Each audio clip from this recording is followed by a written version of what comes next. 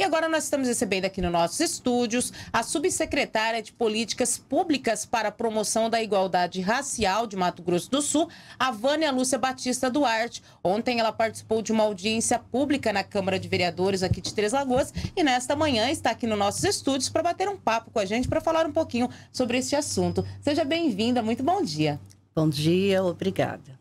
Vânia, fala pra gente, ontem você participou dessa audiência pública, qual a avaliação que você faz da audiência, os principais assuntos debatidos?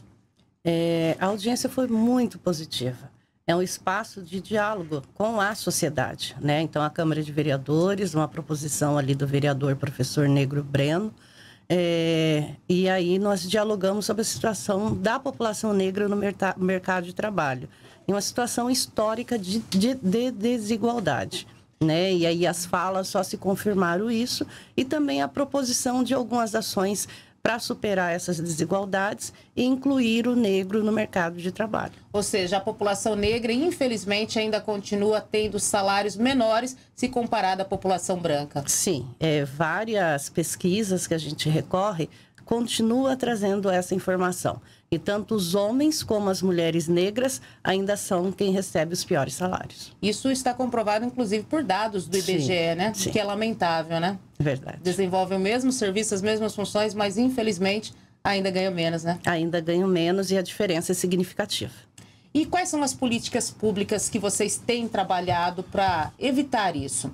Assim, as políticas que nós estamos trabalhando é para a superação desse racismo estrutural, é, institucional, e aí são as ações afirmativas. Quando a gente fala do governo, são as ações afirmativas. São políticas de, corte, de, de cotas, é, a questão da educação com a inclusão dessa temática da população negra, né? Quem são é, essa população negra, como que foram trazidos aqui para o nosso Brasil. Então, essa valorização da população negra no currículos escolares. Porque quando a gente analisa a questão da educação, também a permanência da população negra é, na escola, é, concluindo o ensino médio, uma graduação, também apresenta essa desigualdade. Tanto é que a gente tem ações afirmativas com reservas de vaga é, no, nas universidades.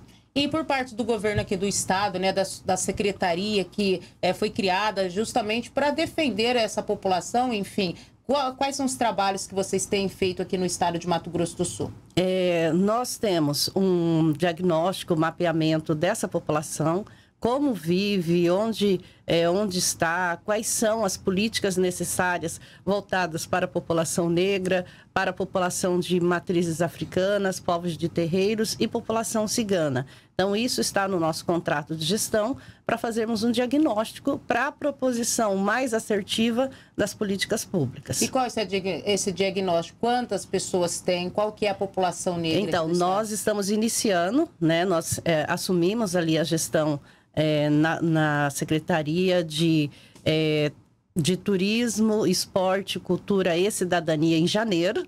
Né? Então, em fevereiro, nós ficamos fazendo os nossos planejamentos e agora é que nós estamos iniciando esse diagnóstico. Então, nós estamos fazendo as visitações para poder fazer esse diagnóstico. Mas nós estamos em diálogo com a Secretaria de Estado de Educação, com secretarias municipais, para a implementação da Lei 10.639, que coloca obrigatoriedade é, nos currículos né, da educação que esteja essa temática da população negra e população africana, também diálogo com a Secretaria de Segurança, para uma formação para os policiais civis. Né? Então, a gente está fazendo algumas tratativas no Estado para que possa é, atuar nessa questão de uma política mais antirracista.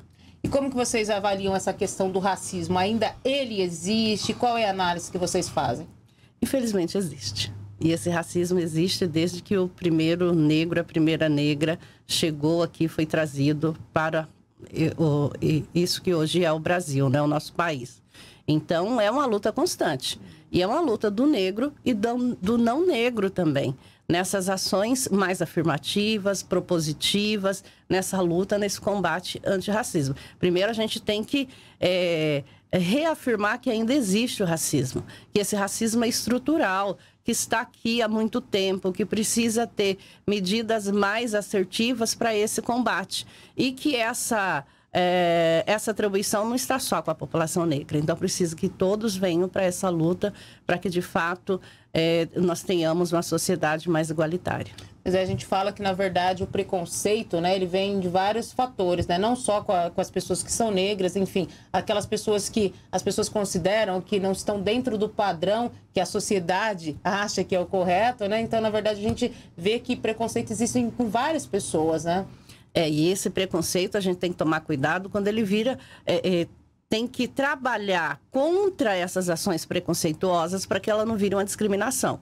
Porque a discriminação ela impede a ascensão dessa pessoa em todos o, em, em toda a nossa sociedade. Né? Então, no mercado de trabalho é um né? Porque a população negra muitas vezes tem a mesma qualificação que a não negra, por conta do preconceito, não abre-se a porta de trabalho para essa pessoa.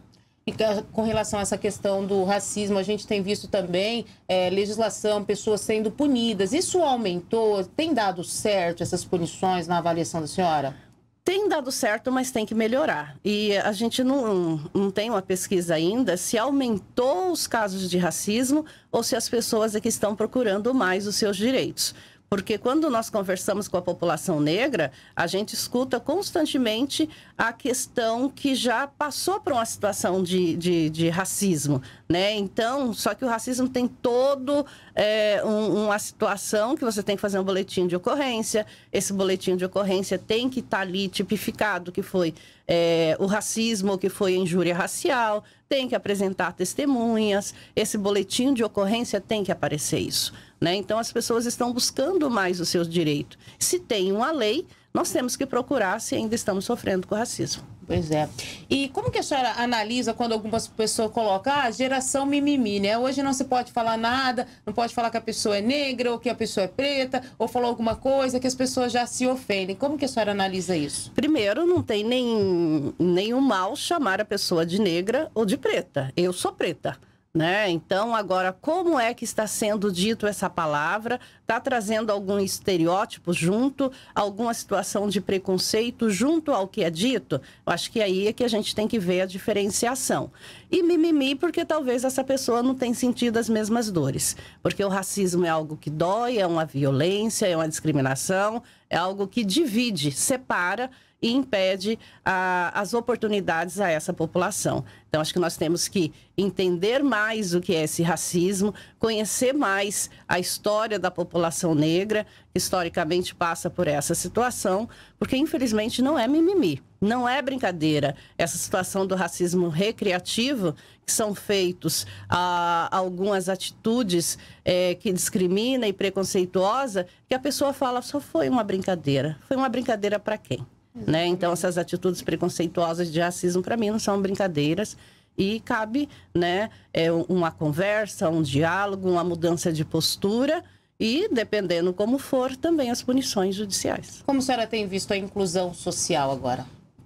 A inclusão ela está aí no caminho, né? Junto com as políticas públicas, né? na área da educação, da assistência, da saúde, da cultura, ainda tem muito a ser feito, né? E aí nós estamos no governo com essas proposições de políticas públicas. O que, que está previsto para esse ano já?